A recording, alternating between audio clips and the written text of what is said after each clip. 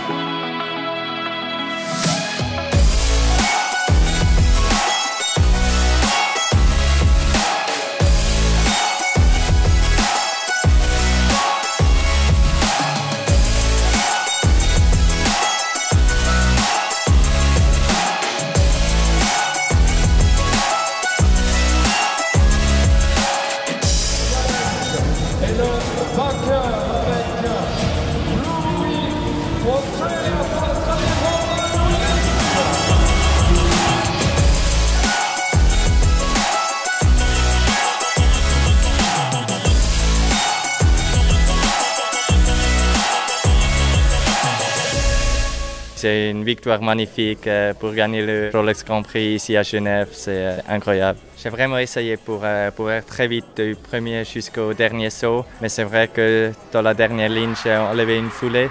Et puis je pensais là où j'ai gagné. Que il était phénoménal dans le barrage, il a, il a vraiment joué le jeu et puis il voulait gagner aujourd'hui.